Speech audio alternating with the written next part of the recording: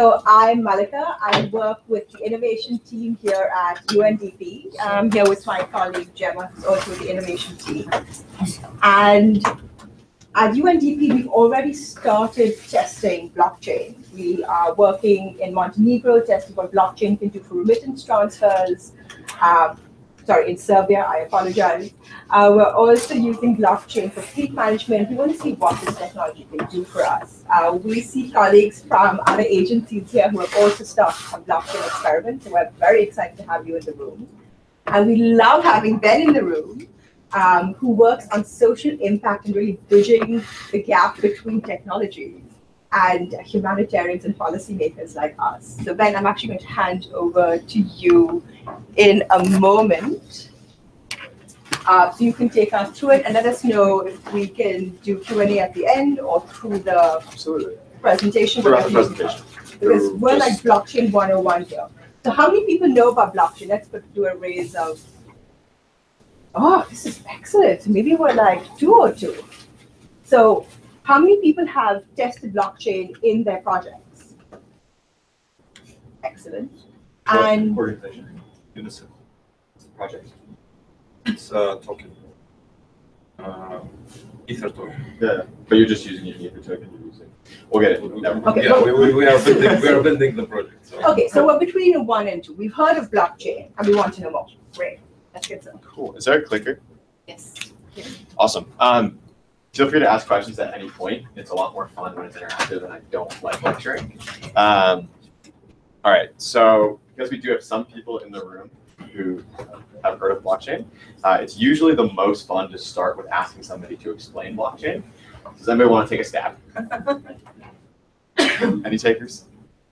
All right. Completely understandable. Fair enough. Um, I once was asked to give someone like a Roman gladiatorial style life or death situation on if they could get it right. Um, they seemed very scared. So, what is a blockchain? Um, blockchain is a ledger. Ledgers have been around since ancient Sumeria. They're just places where we record things. Um, uh, what a blockchain does is it takes that idea of a ledger and it cryptographically secures it and makes it permanently verifiable. Um, so it exists. Uh, if you think about the way current digital ledgers work, they exist on a server, um, which means you can go into a data center, you can go into a computer with the Raspberry Pi where that server is hosted, and you can take it out. Um, you can just like physically get rid of it. There's not a lot of, uh, maybe we'll, we'll wait for people.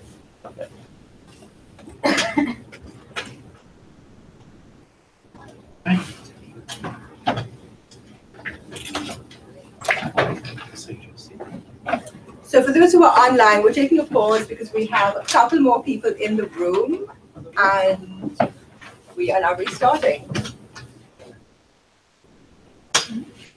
If we're gonna restart, I will actually maybe take a stab at starting with who I am, to kind of set the stage for this. Um, my name is Ben. I work for an organization called ConsenSys. We are one of the we are the largest Ethereum blockchain kind of development studios on planet Earth.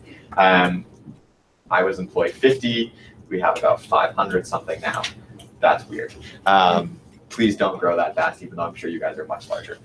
Um, what we do, uh, we kind of do just to give a quick intro, we build out decentralized applications on top of the Ethereum blockchain while also working with large organizations, um, Fortune 50s, Fortune 500s, governments to build like enterprise style software solutions, the same you would see with um, a more traditional software company.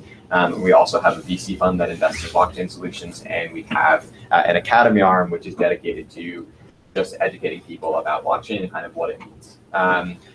I have the coolest job in the company in that I was one of the founders and am still one of the leads on our social impact team at ConsenSys. So I kind of sit in the middle of all four of those other arms um, and get to say like, hey, this is pretty cool. How can we help people with it? What can we do? And I'm just allowed to run around and chase good ideas, um, which is awesome. So taking that into back to what is a blockchain with all the new people in here, who has heard of blockchain? Who has heard of Bitcoin? Ethereum? Anybody explain the difference between Ethereum and Bitcoin? cool, we'll get there. So, what is a blockchain? A blockchain is a ledger. That's it. Like it's just like your traditional ledger, the same way we've been writing ledgers since Sumerians were writing cuneiform on clay pots. Um, it's just a place to store information. What a blockchain does is it takes that information and it first and foremost it decentralizes it. So right now, if you think about ledgers, they tend to be located in one place. Um, you have uh, an Excel spreadsheet that lives on a computer. It's stored, that Excel spreadsheet is stored on a server. That server is in a data center in northern Norway. Um, cool, super energy inefficient, and super, like, it's really easy to get rid of that. Um, not really, but kind of. So what decentralization does is it takes that information and as opposed to having it stored in a single place, which that place is a form of failure, um, it takes it and it spreads it out across the entire network. So the way blockchains work is there are these things called nodes. And what a node is, is it's just a computer that's running a blockchain and it stores the entire amount of data on the blockchain on that computer. And right now with the Ethereum blockchain, there's about 22,000 nodes across planet Earth. Um, and the whole chain is about, is about 16 gigabytes of information total. Um, that's expanding rapidly. That's changing. We recently had something called CryptoKitties explode onto the scene, which I'm sure some of you have heard. Um, and that's a perfect example of why blockchains are not super production ready yet, and that we had a Pokemon-like game crash the system, um, just because we're still scaling. And that's that's really important as we dive into the rest of this conversation.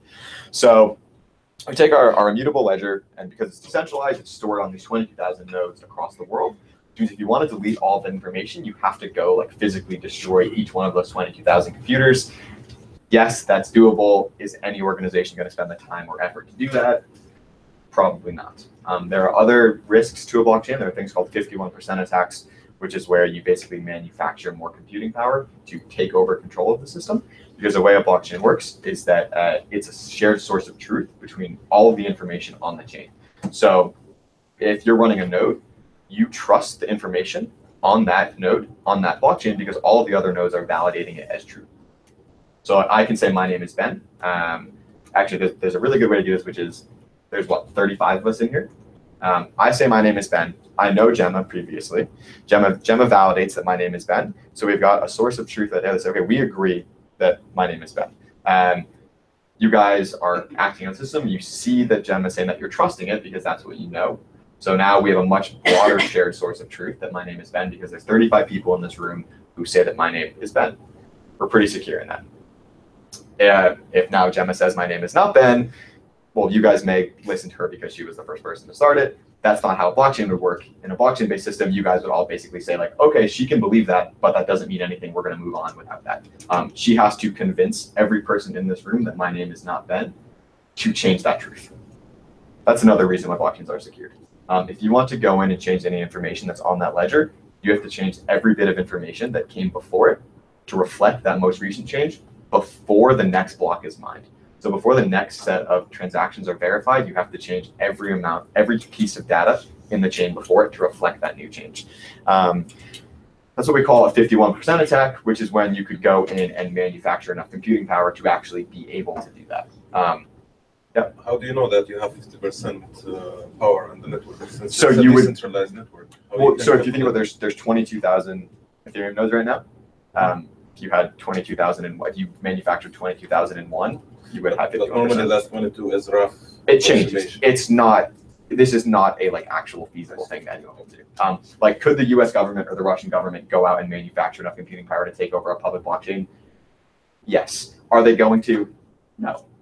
Um, and then the more adopted this becomes, as we kind of see the technology grow and expand, what we will see is we'll see a lot more, um, a lot more security in the system based off the fact that more people are using it. That's the strength. It is at its core, it is a grassroots, decentralizing, distributing technology. Um, that brings us to smart contracts. Um, or we, we can go into public-private key cryptology, but that may be too technical. Um, anybody have any interest in learning about like the really nitty-gritty as to why blockchains are secured on a technical level? Great, awesome, thank you. Um, so what is a smart contract? So this is where we kind of get we go into the difference between the original blockchain, Bitcoin, and the newer ones like Ethereum. Um, so a smart contract or Bitcoin is peer-to-peer decentralized cash. It's a great way to send and store value on a distributed ledger, but again, it really only works as a cashless payment system. Um, and it's a very narrow set of use cases. It is, it's money. Like, please don't let people tell you that Bitcoin is like has use beyond just being a way to store and transfer value. Um, Ethereum or Ethereum is a is a it takes the precedent of Bitcoin and that decentralized network of it, a distributed network of it, and it applies these things called smart contracts to it. What a smart contract is, it's business logic. So really simply, it's if X then Y, you can program a, a set of a set of values that when achieved, an action occurs. So that takes the Bitcoin network or the idea of a blockchain and takes it from just being this peer-to-peer cashless payment system, turns it into a software platform the same way an iOS system is, or you know, Windows 10 is. Um, you can start to build applications on top of it that do things like you can create uh, systems that automatically send fund that funds are triggered and sent when a certain variable is met. Um, so if a report is triggered by an IoT sensor, that can initiate a contract, which then sends funds to 200 people across the globe. And that's kind of the core of blockchain's power is that you, with smart contracts, you automatically are starting to enable um, really quick, cheap interactions between individuals based on defined variables that they set up as individuals. So with proper infrastructure, you and I could go out, we could set up a smart contract that says X is going to happen when these variables are met. That can be just about anything, but there are still technological problems being sorted out. And it's really important to understand that public blockchains like Ethereum are like we're talking about a two and a half year old child. We know we have an idea of what it's going to look like when it grows up, but it is still waddling around in diapers and struggling to walk and talk. Um, so we're getting there, but there's a lot of growing to be done. And that's why, especially in the social impact sector, it's really, really important that we're very careful with this technology. Um, do no harm is something that we should do our best to drive for with new technology. I'm not super sure that it's possible. Um, unfortunately, I think that we are going to cause problems as we start to deploy technology on the ground in new places and new ways. Um, but we need to make sure that we understand the way that this technology works with vulnerable populations on the ground, whatever. Um, it's boring, boring, cool. So what does what does this mean at a much larger scale for the world as a whole? Like if, if we talk about blockchain, the end goal of blockchain is creating a decentralized internet. Um, so think about the internet. Uh, started out as this way for people to share information. The genesis was we're gonna we're gonna create this this just global information network that everyone's gonna have access to. Um, Web 1.0 kind of got to Web 2.0, which is the dot com bubble, and then Facebook, Amazon, whatever, where we started to see a lot of our data and information, the way we were able to share information was controlled by large organizations, was controlled by, uh, you know, does anybody know how much money Facebook makes off your account every year? How many people in this room have Facebook accounts? Everyone. Cool. Almost everyone. Anyways, if you have a Facebook account, Facebook is making $16.2 per year off your account just by your account existing. That's it. They completely control your data and are completely financially dependent on your data, but you guys get nothing in return. Um, so what we have with blockchain is kind of this ability to create more peer-to-peer connections um, surrounding something called self-sovereign identity, which is um, identity that's created, formed, owned by you as an individual because you exist, as opposed to uh, UNHCR giving you a refugee identity or the United States government giving you a passport. So all of us are humans. We're all here. We have licenses. We have passports. That's our form of identity. Um, we are people because the government says we are people.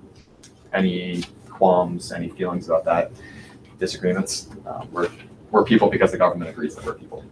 Um, Um, they say, I think I exist. It's not because of the government. Yeah. It's, it's just because I'm here. so you have um, it's fine for us in the states. We can trust maybe less now. We can trust that our government is not going to cause problems because we don't control our identity.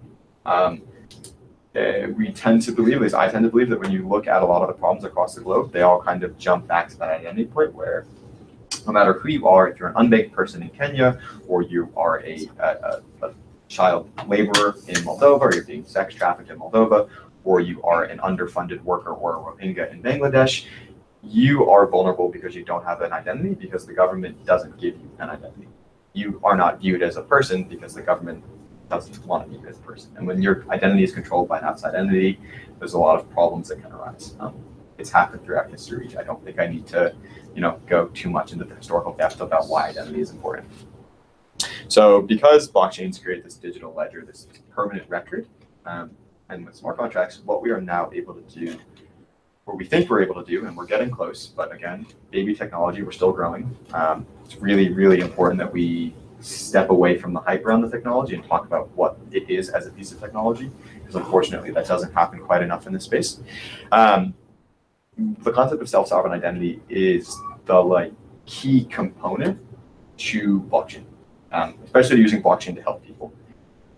Because we can create this record of interactions, we can create this um, these contracts that initiate actions.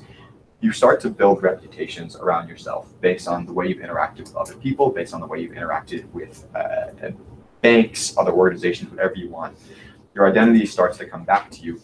You're not a human because the government says you're human.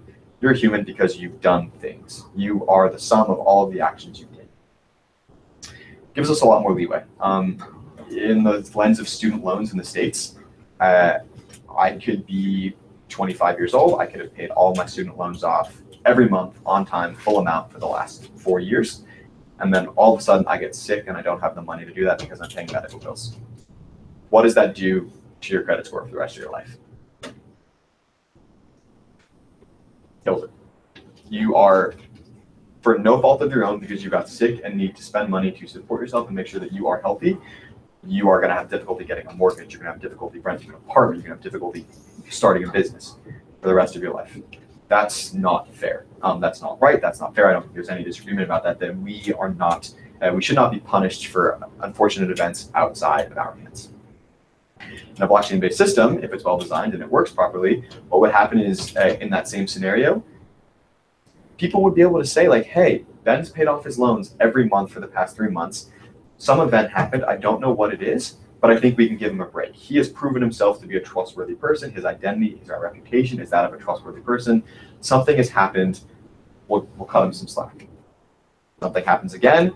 Reputation starts to change. It builds up over time, and you're developing a reputation based on the actions you are actually taking, as opposed to some arbitrary roll of events that look bad. Um, and this identity concept plays into just about any blockchain for social impact solution you're going to start talking about. Um, UNDP's project in Serbia, there is a pretty heavy identity component of it. Um, World Food Program's pilot in Jordan, there's a super heavy identity component of it. Uh, we're still talking about centralized access points, where in both those cases, the UN is the identity manager for those civilians, which is for now fine. I don't think we have any qualms about the UN being in control of people's identities. But longer term, we want to step away from that. We want to empower everyone to have control of their identity, or at least have the opportunity to control their identity. So if we can build these identities and people don't want to manage them, they can hand them over to a trusted third party and say like, hey, like I don't feel I'm comfortable managing this for one reason or another. Probably has to do with security of private keys, which are your access points to the blockchain and your reputation. Um, kind of like a PIN number to gain access to who you are. That's one of the issues we're having with self-sovereign identity is how do we protect people's identities when they are on the ground in dangerous places. Um, cool. Is everyone cool with the concept of self-sovereign identity? Questions, comments, concerns? I'm not. I'm sorry, but It's fine. I'm not sure I follow your examples because, I mean, I understand the problem with the student credit here and with the health system, that's very clear. How is that related to identity? There are a lot of countries also, just let, let me, there are a lot of countries where, you know, you're allowed to be sick, you know, the state care of you and it's relatively inexpensive to study. So, I mean, it's not really because the state controls the identity or not. On the other hand, in this kind of system, so I mean, like a state is tracing your identity from birth, right? They know who you are. They know, for example, how many times you, you went to prison or you didn't go to prison, which is something that is mm-hmm. very important in building your reputation. So when an adult, I assume, enter the system, what does the system know about the adult if it's not through interaction with already existing database? Like a criminal can enter there. Yeah. And have a perfectly good reputation because he Well- didn't do anything wrong. Chances are they would be onboarded over a period of time. And if we maneuver from a government system to a self-sovereign system, by the way, none of this is going to happen in the next 20 years. Like, we're not going to see a self-sovereign identity system in the States in the next 20 years. What we are starting to do is build out identity systems that take the place of banking, uh, banking identities. So there's 2.6 billion people on planet Earth who don't have access to bank accounts. They don't have access to bank accounts because they don't have an identity that's given them by the government one way or another. Um, uh, on the island of, uh, I'm blanking on the name, Southern Philippines, there's about 18 million indigenous people who do not have access to the economy. They don't have access to their natural resources. They have no ability to capitalize on what amounts to about $2 trillion in natural capital on their lands. Financial inclusion is probably the first place we're going to see these identities come into play. Um, we're going to start being able to connect people to the economy on a peer-to-peer level as opposed to a, a bank level. Take banks out of the system, start to engage at a much more equal distributed level, and you bring more people into markets, you create new markets. In the lens of someone coming onto the system and having a previous criminal record, that's one of the things that we have to think about. How do we onboard people onto the system? Like, like what we're talking about here is only going to work if it starts at birth and every action you've ever taken at birth is built up on top of that. But you already have digital identities that follow you everywhere. Um, you know, Facebook, Amazon, Google, like there's a reason why I go on my phone and look at Knicks tickets and then my Facebook says on my computer, like, hey, you want to buy a Knicks ticket? Like we're followed by that information. Everything we do online is already recorded. Our identities um, are managed and other organizations benefit from them. So yes, we could start onboarding people. And if the government doesn't say like this person has a criminal record, they're going to, you know, get a clean slate on blockchain. Um, other people around them could say like, yeah, like, no, this person's a criminal. And that would start to show, those attestations would start to show up. But at a much earlier level, much more important level, um, access to your own data online.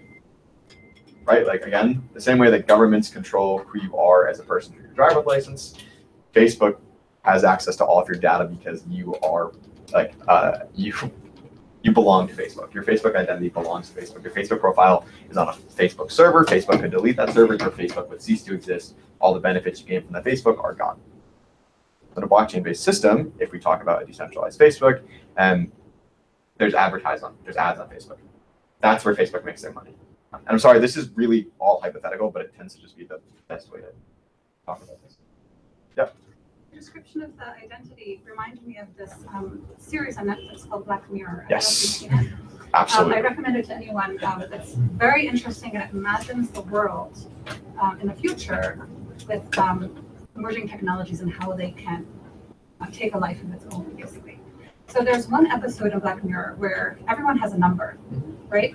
And so if you jaywalk and someone almost hits you, they can point their phone at you and give you one star, right? If you're super sweet to someone, they can give you five stars, right? And so all of this is aggregated, like with what you're saying, every single thing you do in your day yeah. Is aggregated, right? And into a number, which then enables you to either buy a house. If you're under a certain number, you can't get a mortgage, or you can't even rent a proper car. It's a very, and what happened was the society had this downward spiral, really, because of it not only this woman as a person, but social, it changed social interactions. Like everyone became basically fake, right? It had all these other implications. So when these technologies are being tested and they're very, you know, you're talking about it's very inspiring and interesting and the wave of the future, but if, you know, who's thinking about the risks? Um, because once you do it, you can't pull back from it, right? Absolutely. And then once it's out there, it's just up to people to just, it takes on a life of its own. So one of the really interesting big points that you're bringing up is the fact that there's no precedent for anything like this. Like there's no precedent for like true control over yourself in human history, um, which means that we shouldn't build anything until we've done an incredible amount of research on what this is going to do to societies. How are people going to interact with it? How are people going to touch this? Um, my big project at the moment is uh, research and design onto what a blockchain tool will look like for international development. So how do we get funds from UN agencies, from other donors onto the ground into Nigeria to fund uh, oil spill cleanups? Pretty big issue there with corruption in the region. There's a significant amount of funds that are lost. It all actually stems from a UN report. Um, there's a huge identity aspect of this. Like the workers at the ground are not getting paid because they're able to be cut out of the system because they don't have identities. Um, putting that aside, blockchain is something that what it does by nature, by creating new links between individuals, you're changing the way we interact. Um, creating reputation systems, creating visible reputation systems is going to change the way we interact with each other. And we don't know how yet. We can talk about the best case scenario, we can talk about the worst case scenario. We don't know what's actually going to happen. Um, there's so much research and development that needs to be done in collaboration with humanitarian organizations, with impact investors, with all the necessary stakeholders in this. Um, to avoid exactly what you're talking about. There is a, there's a problem in the blockchain space right now that no one wants to talk about the negative outcomes of something. Nobody wants to talk about the negative potential of what we're trying to build. Um, ledgers of identity have gone wrong throughout history. So now what happens when a government has a permanent ledger of identity in every interaction you've ever had? That's terrifying. Um, for like so many countless obvious reasons, we could be building stuff that could make stuff a lot worse. Uh, what that means, at least to me, and kind of what my job is, is to talk to people like you guys, bring the technology to policymakers, to people who are working on the ground in humanitarian spaces, who understand the way that societies work, but may not understand the way technology works. Um, as we move forward and kind of begin to design these systems, we need to be able to work with you guys to sit down and say, this is a problem you guys are facing. We have a technology that we may think would be able to solve it. Let's narrow this use case down. Awesome, we've got a use case.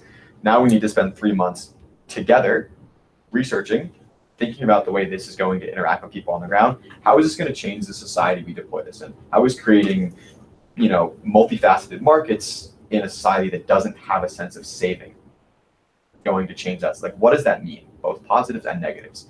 And at the end of that three months, we aren't able to definitively say or make a, a pretty solid assumption that this is beneficial, we shouldn't build that. Um, we don't want to build an identity system. We don't want to put an identity system in the hands of the Syrian regime, in the hands of North Korea. Um, we need to be careful with what we build. Like, like obviously, that's something that we just don't want to do. And, and I think I think we, as a technology space, and, and blockchain is at its core, like it came out of the Occupy movement. Satoshi's uh, the white paper, the Bitcoin white paper, was 2007, 2008, in direct response to the financial collapse and the, the, the wealth gap. Like that's what it's about. Blockchain was invented as a system to distribute wealth, equity across the globe, but it's going to be co-opted if we don't work together to make sure that that is the future. Um, what's the difference between a tool and a weapon? Yep. Uh, so, uh, just like initially Facebook wasn't created to buy our identity or Yeah. to distribute it as well. So, who owns now blockchain? Who puts money in it right now? And what are the chances that one day it will be also bought by So- someone, possibly Syrian regime? Or no, Um, it doesn't matter. Facebook is not bought by Syrian regime, but it doesn't mean it's better. Blockchain owns itself. It's not owned by a human being. Um, So, but who puts money? Who's, who pays the salary? pays my salary, Yes. my boss. But but like that's No, sorry separate. for Derek, but I don't mean exactly. So- Like, where, where is money coming from? That's. Um, all right, so now we're going into the money side of things. Bitcoin has value as a store of value. People are storing money in Bitcoin. There's FOMO. There's a there's there can only ever be 21 million Bitcoins. There's nothing backing it other than the fact that people say Bitcoin has value. Right? Like like Bitcoin's at what seventeen thousand dollars right now. That's seventeen thousand dollars because the rest of the population has decided that a single Bitcoin is worth seventeen thousand dollars. There's Um, also proof, there's also proof of work in the chain itself that there, that proves that has, some work has been done in order to produce those bitcoins. So So there's kind of proof. That's that so so proves it value. miners are paid in Bitcoin for verifying the transactions on chain because in order for something to have value, in order for work to have value, you have to. So the mining mechanism, uh, the way it's built and the way new Bitcoins are generated, the people who are the, the it's not the people, it's actually the computers who are doing the generating. Those computers are rewarded for verifying the transactions on chain. The people who own those computers are the people who are in control of the Bitcoin that come out of that mining process. However, that's distributed. There are countless Bitcoin mines across planet Earth, Bitcoin computers mining Bitcoin. Um, no one person owns a majority of those. So there's no there's no one who can just step in and say like, I'm gonna control this system because I have access to all the miners. Um, because I can I as an individual can walk out of this building, walk into Best Buy, buy a bunch of GPUs and build my own Bitcoin miner and have the ability to be part of the system, be part of the network. And by doing that, I'm actually making it more robust and more secure against someone coming in and saying, I'm going to take control of this. Ethereum has value the- because Bitcoin is a peer-to-peer cashless payment system and it's the price is driven by supply and demand and very much so by the fact that there's a huge amount of fear of missing out because people are making a lot of money. Um, that's it. Bitcoin is boring. Bitcoin does one thing and it does one thing only, and it makes it pretends to be money. Um, Ethereum is a software platform. The Ether token, that is the, the store of value for Ethereum, uh, it's not money is a fuel. If you want to initiate one of those smart contracts we talked about earlier on an Ethereum blockchain, you actually have to burn a little bit of ether. You have to burn a, a token. You have to burn price to make that transaction go through. The miners in Ether get paid for verifying that that transaction is going through the same way it happens in in Bitcoin. But Ether is a fuel. It's a fuel for a platform the same way that petrol is fuel for your car. It Doesn't run without it. If you want to do something on chain without having money, you're not going to have it. What that means is that the system has to have its own amount of funds into it, so these transactions can be verified without me having to pay for them myself. And Just to, just, uh, just to make sure that I understand it, this means that all the features of Ether are based on the system of money that underlies it, which is Ether. So the cryptocurrency, if part of it. it's not a currency, it's a fuel. Or the fuel, whatever you want to call it. It's a payment uh, methodology to the network, to the, to the It, miners. it right? runs the network. Yeah. Yeah, So I pay those numbers to, for the miners as fees. so you're paying fees to the miners to validate the system, So it's a payment method between me as a user of Ethereum to the miners. but is putting gasoline into your engine and pressing the acceleration of Yeah, payment mechanism, or is it? So what I mean is that, that the, the core functionality of the Ether and the Bitcoin are the same, which is basically this kind of fuel. No, because you can't, there's no smart contracts on Bitcoin. You can't build a self-sovereign identity on Bitcoin. You can't build a, a, a preemptive insurance yet. You can't build a preemptive insurance tool on Bitcoin. You can't build, a, you can't build a system like the World Food Program's pilot on a Bitcoin blockchain. I see. Um, those contracts, the smart contracts are what make the different, are the different I'm. I'm not sure what they mean by smart contracts, but I think Bitcoin has smart contracts, but it's limited. It's, it's, limited uh, because it's, it does not, it's not complex like the Ether one. so, It's and. For example, I can do multi-sig addresses of Bitcoin. yes. Right. It's kind of a smart contract. Kind of. So, but not, and the risk of getting too technical, um, Ethereum smart contract was built in a language called Solidity. it's And Solidity is a Turing complete language. That more means complex. it can do everything a computer can do as a language. That's what a smart contract is. Smart contract is like a programmed computer that sits on top of the system, basically. Bitcoin doesn't have that. But that, Yeah. it's relatively irrelevant to the point, to this broader conversation. Um, One question Can I, about can I just do a temperature check, just one second? So I can see a lot of very confused faces, because I know blockchain is a vocabulary unto itself. Yeah. So what I did want to do was actually um, get a sense from the room if it's okay that we actually move towards more applications, things that we can see on the ground, what has worked, what hasn't, just so as a room, we can move forward, and then if you have uh, more technical conversations and Q and A, which I already have done as well, uh, we can leave that to the last ten minutes. Is that okay? So just as a room, is that all right? Okay. Is that okay with you, Ben, as well? Yeah, it's fine. Yeah, okay. I'm gonna put this down. Um, in the humanitarian sector, the like best current applicable tool, and I'm sorry UNDP for No, I, I did it, don't worry. Just so we can see you. um, the World Food Program's building blocks pilot is like the coolest thing operating on the ground right now. Um, they built a system that basically goes in and when the refugees at Azraq in the camp go to the supermarket and they scan their eyes, um, it initiates, the smart contracts initiated that verifies that transaction on chain. Funds are taken, called, there are funds that are called from the WFP's reserve, whatever it is, deposited directly into supermarket and that's paid for the transaction. All that they did, super simply, is they took the system and the way that the cash-based transfers were delivered previously, and they took the Jordanian bank and said, we are losing a lot of money in transaction fees at this specific point, we can cut that out.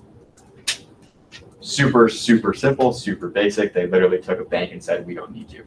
Um, they don't. They're running it, their, their pilot, which ran from May until December, 10,000 refugees being fed daily, saving $200,000 a month for aid to be redistributed. That's awesome. That's the type of thing we should be focusing on. Like, what is the lowest hanging fruit? How can we cut out banks? How can we reduce transaction fees? How can we verify that uh, things are being, things are, events are happening? That's where the technology is at right now. That's Um, all, sorry, Ben, that's all, um, uh, all the transactions are performed in Ether? or- No, so that's it's it's actually run on a private chain. Um, so there's no cryptocurrency involved in this. The the transactions, um, it's closed loop. So the funds are never in the hands of anybody. They're kind of they actually never really leave the the World Program's reserve. When the IrisGuard, when the scanner scans, when the refugee scans their eyes, it initiates a transaction. The the the IrisGuard, the piece of IoT tech, calls the World Food Program and says, "Hey, this is verified. We know that this happened." The World Food Program pays the supermarket for that transaction, um, as opposed to the current system, the previous system, which was that it had to get verified through the Jordanian bank, and they were losing, they were paying bank transactions at two separate points. They, they pay in, in Jordanian dollars at the end. Yeah, or they're paying in USD, whatever it is. It's not. It's not currency. You know, you don't need cryptocurrency in a blockchain. Like one of the big things we need to do in 2018 as a as like a technology space is completely disassociate cryptocurrency and blockchain. A lot of the time, there are some use cases where it's very applicable. You do not need a cryptocurrency in every blockchain solution. Yep. Yeah, stemming from that, say, like you said, you were creating a, a token based off Ether. Is this pegged to the Ether price then? Yeah. So Because it's Kind of. highly volatile. if you're so- creating a token based off Ether you're creating something called an E ERC20 token, which is uh, it's movable and it's verifiable by the Ethereum chain, but it's like almost like tokenized equity. So it actually at the price actually acts more um, as a result of the market. It acts more like Bitcoin than like Ether in that sense, and it's volatile for different reasons. Not because the price of Ether, it's volatile because you know why are stocks why can stocks be volatile? It kind of functions the same way as a token does. You can create things called stable tokens, which are pegged to a certain price. They're generally pegged to a tradi- traditional currency. And we're going to see a lot of that in 2018, specifically in places like Nigeria, where we need a way to get money securely into the country, but they also need to be able to spend the funds. Um, I think one of the problems and one of the reasons why people in the development sector shouldn't focus on tokenized economies is because all of a sudden you need to recreate the entire like payment system in the region. You need to be at, need, there needs to be a point of service or a point of sale that accepts tokens. There needs to be accessibility to whatever form of wallet those tokens are held into. So what we really should be focusing on now is we're talking about payment systems or putting money in the hands of people. How do we make sure that most money is ending up in the hands of people and you're not losing a lot to transaction fees? Um, that's like that's the lowest hanging fruit, and and I personally believe that if we want to help people the most of blockchain over the next year as the technology itself develops and infrastructure develops, we should just focus on making organizations more efficient, more transparent, um, and able to disperse aid better. We don't really necessarily need to be building for the beneficiaries on the ground because we don't know how they're going to use the technology. We don't know the problems that are going to arise. You guys are a much safer experiment bed for the technology. Like I, I'm not worried about WFP, you know, their transaction fee harming refugees. Refugees have no idea that anything has changed. That's the way it should be. We shouldn't be changing. We shouldn't be directly changing the lives of people. And if we are, we really need to understand uh, what that means for for everything. So let's focus on efficiency for you guys for the next year or two. Um, international development, like with our project in Nigeria, um, that's a really big step for the space. We're not building anything. We are informing the design and helping people understand what this may look like. We are working with people on the ground to understand the way they may interact with the system, but we're learning. Like I cannot stress that enough that we as a space are learning the same, like we're learning as much about what you guys do and the way that beneficiaries are aided, the way that international development works, as much as you guys are learning about blockchain. Um, it's really important that we don't act as competitors to each other, that we don't believe that aid is your right and we're a private sector organization that should stay out of it. Um, we are firm believers in collaboration. We want to be in the rooms with you guys as you guys are talking about policy, and we want you guys in the rooms with us as we talk about technology. Conversations need to be had in a way that informs everybody um, and we're not just having one-sided conversations because one-sided conversations lead to one-sided solutions. One-sided solutions aren't solutions. Um, sometimes they're band-aids, but they break. We need to be cognizant of the fact that we should be working together. Um, I cannot stress enough, if you guys are building a blockchain project, if you guys are building any sort of technological, any sort of innovation project, please don't let it be structured as a UN team and a development team please have it be one team made up from people from both organizations working together every day on calls, working together. Um, we're not going to be able to understand both sides if we don't do that. And if we don't understand both sides, it's not going to work. Um, and that's just like a really, maybe a little bit of a personal projection there about some of my problems with both sides. I think also what they're saying aligns with the decentralization nature of those networks, of those technologies that, that if you think about Bitcoin or Ether, it's a huge decentralized network that everybody is working with. And absolutely, they, and they don't realize that it's a, it's a, it's just they're all under, under umbrella of Bitcoin. And if you create a project here, it has to have the decentralized nature of it. That's, that's exactly what they're saying, is Um, cool. And I know on another really cool use case on the topic of efficiency is a little bit more governance focused, but Estonia, e-Estonia, does anybody know a lot about e-Estonia? e-Estonia is freaking sweet. It's so cool. Um, they, it's not a public blockchain. It's a private blockchain. It's centralized. Who cares? Um, if I want to go out and register a business, I have to go to like seven different U.S. agencies to like get all this paperwork signed, then it can take what three, four, five months, maybe three weeks if you're lucky. Um, Estonia, everyone has a digital identity. It's government issued. It's fine, whatever. They log onto a web portal.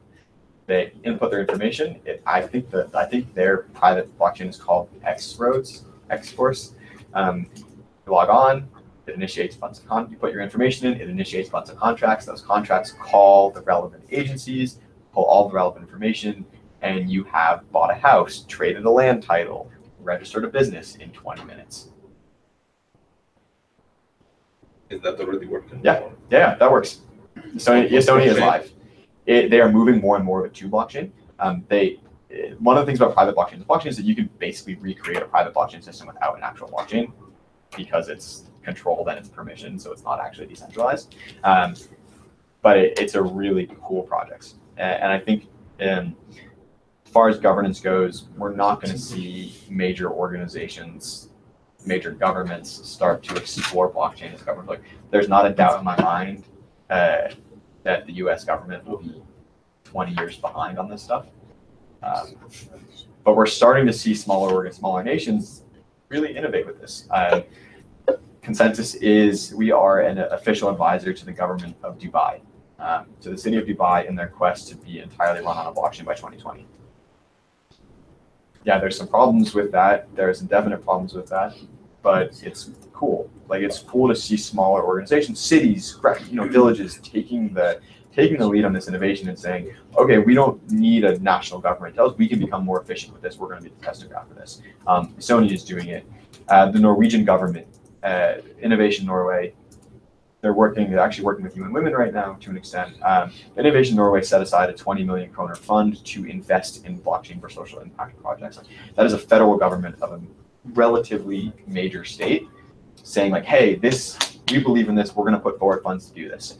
Um, uh, in the past in the past six months, the World Bank has launched a blockchain lab. There are 10 or 15 UN agencies looking at blockchain. Um, the State Department had a uh, an appointed official, an undersecretary of the state, speak about blockchain. 2018 and this movement uh, towards governance is coming, but we're not. I don't think we're going to see any serious governance level blockchain in the future. I think we're going to avoid the governance side of the technology for, for quite a bit. Um, and I also pretty firmly believe that organizations like UNDP, like the World Food Program, who are kind of have already taken the step to do this, are going to be the drivers behind the growth of this technology. Um, uh, blockchain ideated, it was, you know, first came out, it was a way to buy drugs on the internet. Like that's that's what it was at first. Um, that mentality of like it being at the base of society is not something we should ever lose. And I think you guys play a really big part in that. Um, if we uh, just talk about price and talk about the SEC and what the SEC said yesterday, and, JP Morgan talking about Bitcoin, we don't want to let those types of organizations drive the dialogue. Um, we don't want to end up with a tool that's just recreating the system it was supposed to, to equalize. So it's really important that UNICEF builds stuff with blockchain. It's really important that we are doing stuff that has tangible social impact with the technology and not just using it as a piece of fintech.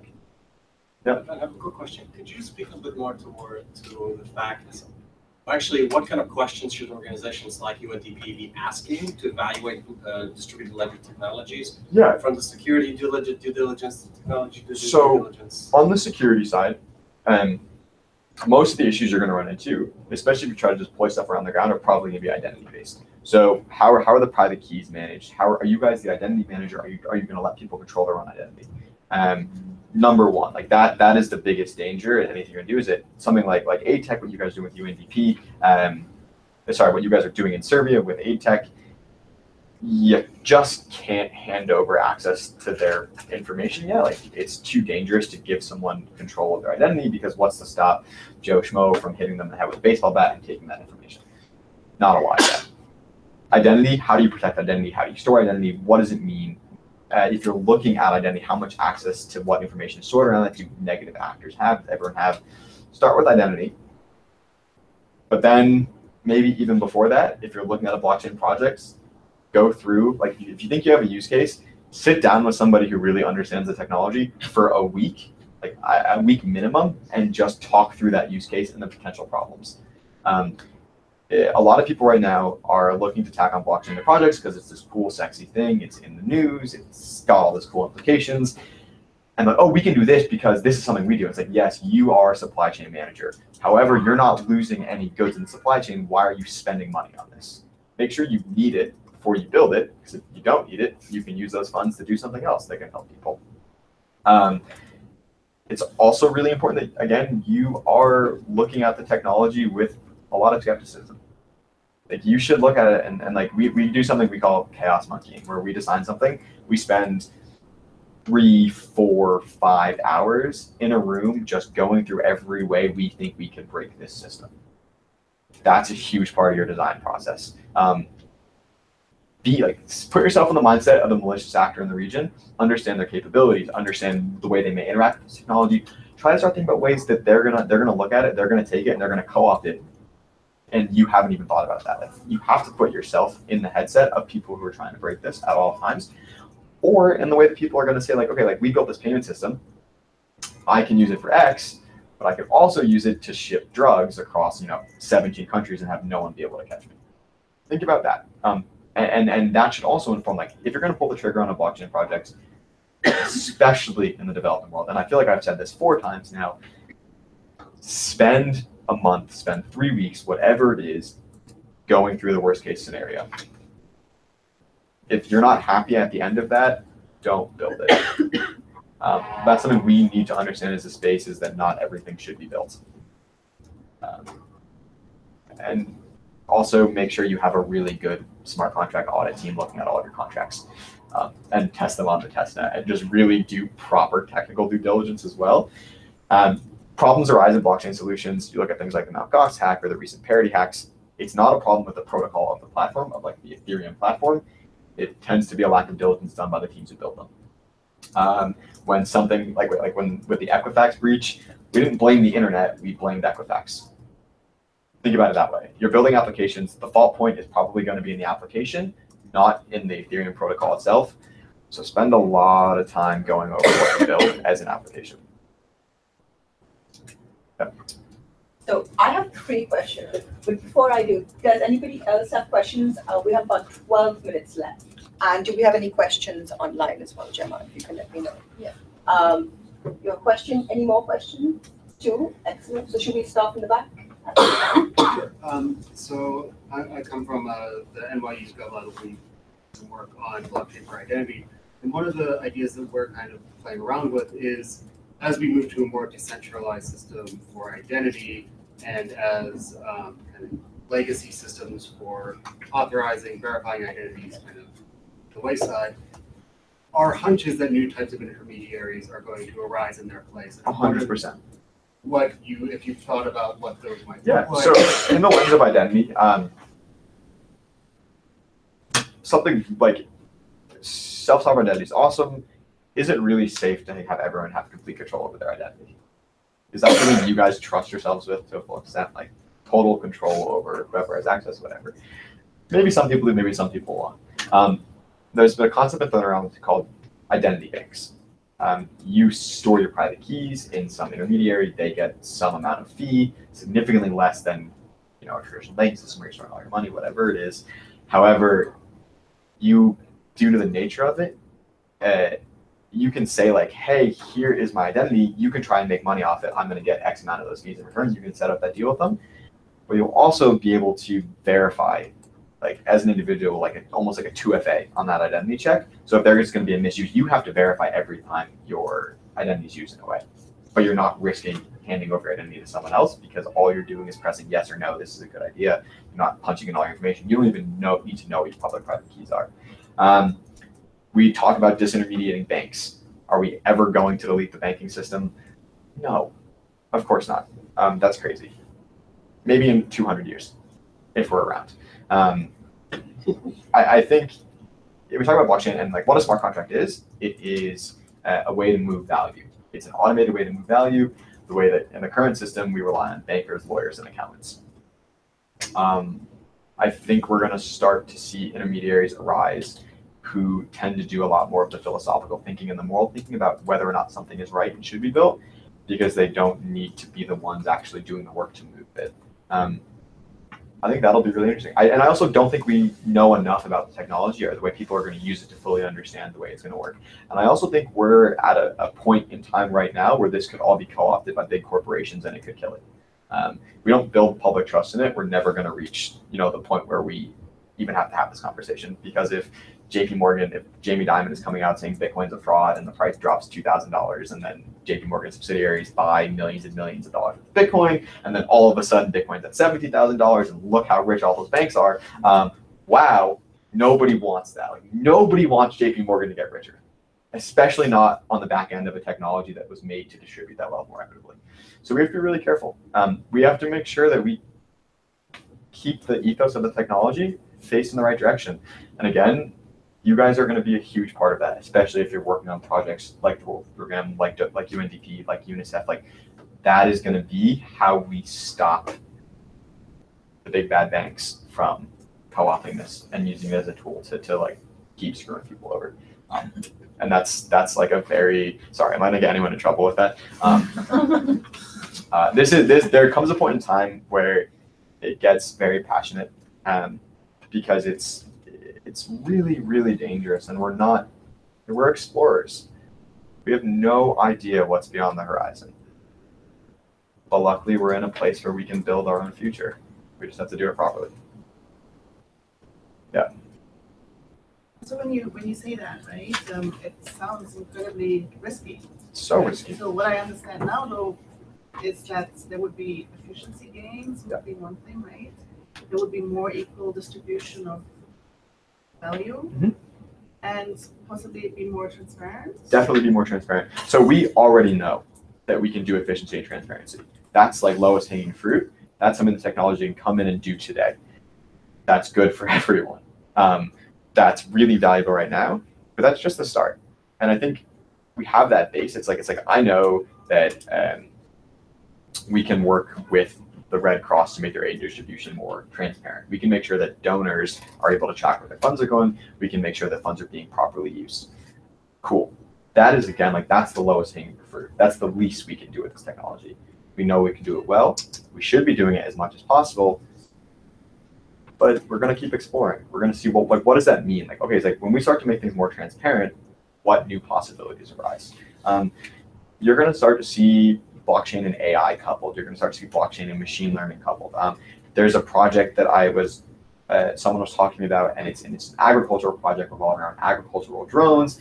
Each drone is basically a node attached to a blockchain. Um, as they're just like doing their drone stuff in the fields, whether it's culling wheat or turning over soil. I don't, not a farmer. Um, uh, as it's going through, they may encounter problems. Like those drones may have to learn how to maneuver around a rock machine learning comes in. After they bump into a rock eight or nine times, they learn just to scoot three inches to the left. They go around their business. That, as a node, that information is stored on that drone, which is a node, and shared with all of the other nodes across the globe. So if I if I'm a drone or I own a drone in Bolivia that runs into a rock and it learns how to get around it, instantaneously a drone in in in Bangladesh knows how to get around the same problem And we're going to start to know more about what this technology can do as it begins to get coupled with other really cool things. Um, and I think, again, we don't know what any of this means yet. And I can't stress that enough. Like, we're learning, learning, learning, learning, learning, and we should be learning together. Precisely, okay, so when then comes the point where I would advise, for example, a government to, you know, now establish a, you know, put the new property registration system on the blockchain. I mean, what you're telling me is that the risks right now are un. You're going to be able to prove it when other so so there are risk takers. There are already people who have stepped and taken these risks. Um, Dubai, so Estonia was maybe the first one, and they didn't take that big of a risk because they did it privately. They did it controlled. Dubai is doing it a little bit more publicly on a public chain. That's a much bigger risk. If they prove that that works, then you'll start to see other people look at it. Um, I don't think you will never be able to go to somebody and say, "Hey, you should be the first person to do this," or you might be able to, but that's going to be a lot harder. Than you, there needs to be a wealth of proof of concepts deployed behind us, which is what we're building now. And we're not talking about market-ready production, like we're not talking about large systems. We're talking about tiny proof of concepts. That's a that's what's being built right now. Proof that this works is what's being built right now. Assumptions are being tested. That's going to start to inform what we can do, and you'll see government start with the lowest hanging fruit. They're going to start with efficiency. They're going to start with transparency, and they're going to go from there. But that's a really good start. Um, so I just want to make a couple of points. So what we're finding, I think, as UNDP, as other UN agencies, as governments are coming to us saying, well, we're seeing blockchain being deployed in our countries. Chile is already using it for its stock exchange, Spain's using it for a number of other reasons. What are the risks that are associated with it? With our governance systems, what is going to be exposed? So it's really interesting for us, like you said, hey, we need to work with the developers to give us a couple of scenarios of, you know, in your mind, what would it look like? Everything from an ethics board, that's a joint ethics board with technology developers and UN systems with government, to other scenarios of actually managing expected risk that continue to grow. And also, Um, what you're going to see is you're not going to see like governments, big agencies are not going to be the early adopters. Um, that's way too risky for them. It's going to happen at the grassroots level. These products that are like remittance projects is um, UNOPS's uh, Nepal Home Office was looking at a blockchain-based project to reduce the amount of uh, reduce the fees on remit or reduce remittances that were coming in from the uh, from the Nepalese diaspora. It's going to start in the fringes, and the fringes have the most space for innovation. Um, and it's going to start at the bottom. We're going to start seeing projects. We are seeing projects that are focused on helping the lowest, the most endangered, the most vulnerable people, and that's what's going to prove it to to the government. Unfortunately, that's also the riskiest place. Um, we shouldn't absolutely not be testing stuff in Somalia. We should not be testing stuff in Syria. Um, I think a really good question to look at when, when you ask about questions to ask stuff about blockchain, like literally look at Maslow's hierarchy of needs. People are hungry if they don't have shelter. Blockchain's not going to solve their problems. You need to focus on solving those problems first. Um, so there's a really kind of niche market for this, which is uh, I actually think Jordan is a, the, the camp is a pretty good example. It's a relatively stable and secure location with vulnerable populations that are being helped. There's a reason why it wasn't deployed uh, in Syria. And we need to be really careful where we do these tests and experiments. Um, because if we, someone once asked me, uh, you know, we should build a blockchain solution to help entrepreneurs in Somalia. Great, cool. I don't know what that means yet, but let's talk about it. What is the entrepreneurial community like in Somalia? Lacking. There are a lot of other issues that need to be solved first, and blockchain is not going to solve all of them. Not even close. Um, so again, we just need to focus on what it can do, and the more we build with what it can do, the more it will be able to do. It, I hate to, to talk about it this way, but like, it's a child. It is a child. Um, it's going to grow. It's going to learn. It's going to fail. It's going to hurt itself. It's going to hurt other people. It's going to do some really cool things. We need to do our best to guide its growth safely, securely, and as it takes small steps forward, it's going to get bigger and better. And that that just I think that just is the best way to think about it. Is that we're not dealing with something that's by any means ready for widespread adoption, um, but we're starting to see the path. So we have forty-five more seconds and one last question or are you good? For me? Are we- Oh, you have one, yeah. Okay. Um, could you talk a little bit more about the potential benefits, um, so I mentioned transparency and efficiency of the, uh, to the kind of proven over and over this inclusion. Yeah. So benefits, I mean, like public blockchain, if you're running a node, anybody running, anyone can boot up a node. Can launch it on your MacBook. Please don't do it. You will kill all the Wi-Fi in this building. Um, once you have that node up and running, you can go in, you can look at every transaction. So you're not necessarily saying, you don't necessarily see exactly what the transaction was. You don't see what it was for.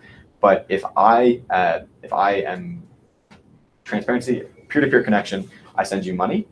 Anyone else uh, there's a hash of that transaction. That hash is our digital representation that, that transaction occurred.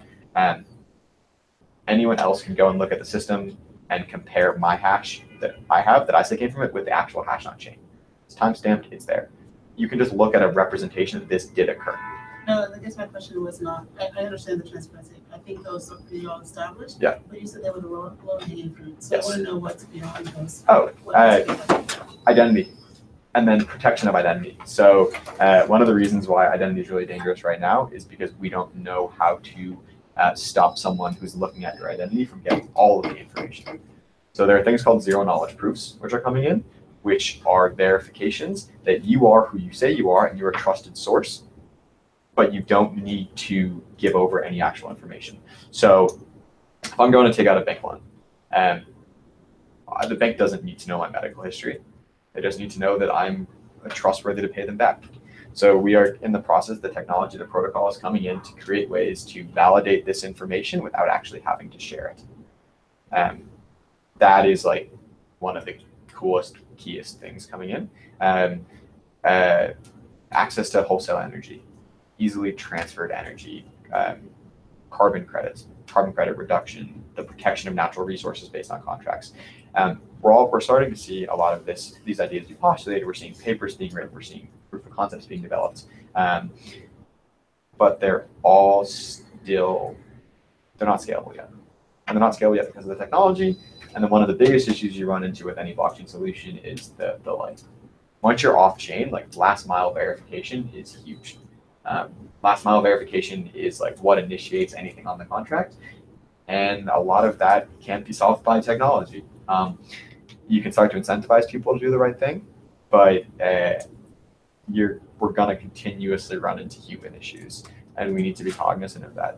Um, and like, what's holding us back is almost as much. I mean, it is entirely as much a misunderstanding of the way policies are going to interact with this, the way uh, different agencies are going to interact with this stuff, as it is the actual technical aspect. So we're still like that. That's why it's so important that we explore it with you guys, because otherwise we're going to start building stuff, and you're going to say, "What the hell is this? We don't want to use this." Um, we had a question. We had a token question yesterday. And someone was like, well, "We should use a token," and they were like, "There's seven different actors in this potential project: agencies, big enterprises, individuals on the ground, NGOs, and foundations, uh, and a couple other whatever they were." Like, yeah, we're going to use a token for X, Y, Z. They're like, okay, do you have any idea how those different agencies are going to interact with that token?